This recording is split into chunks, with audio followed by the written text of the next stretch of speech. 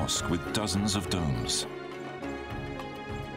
Ponds filled with fresh water.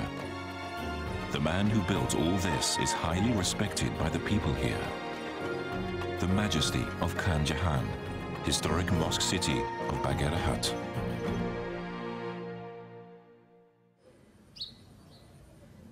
The coastal region of southwestern Bangladesh, a great delta plain, and home to the remains of a city that dates to the 15th century.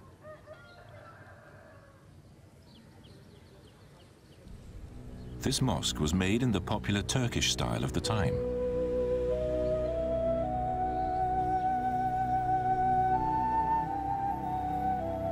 It has a characteristic dome on top.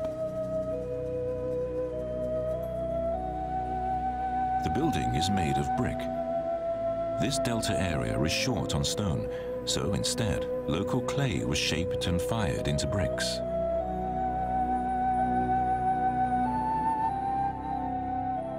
These beautiful curves, which resemble stone architecture, were achieved through skillful processing of the brick.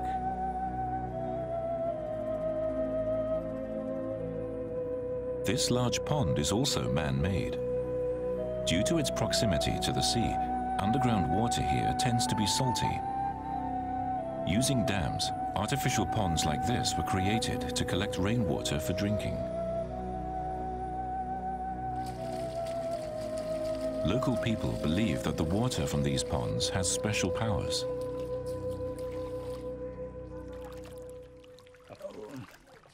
This water can cure disease. It's true.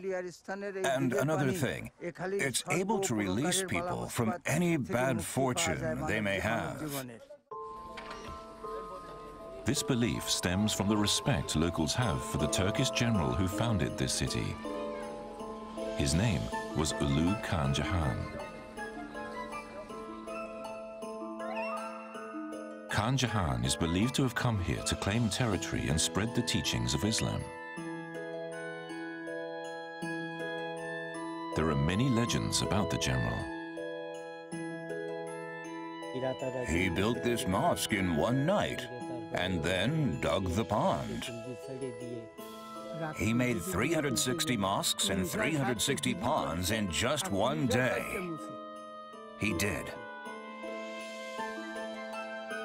Building 360 mosques, in fact, took several years, but it was nevertheless an amazing feat of construction.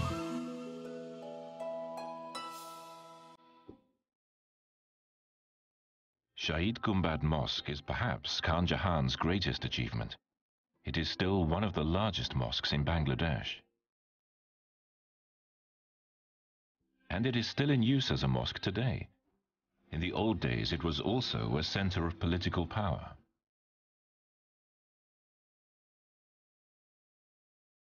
The roof is covered with 77 small domes.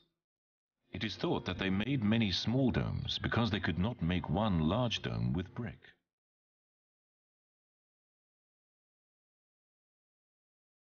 Meanwhile, the columns supporting the ceiling were made of stone. This is the only remaining original column. It is not known how the stone was transported here. Some say Khan Jahan brought it all the way from India using his supernatural powers.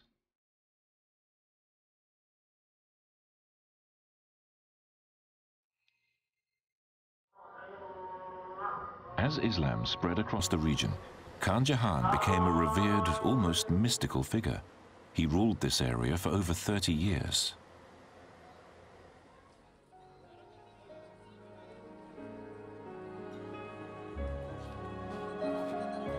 Tomb of Khan Jahan still receives many worshippers.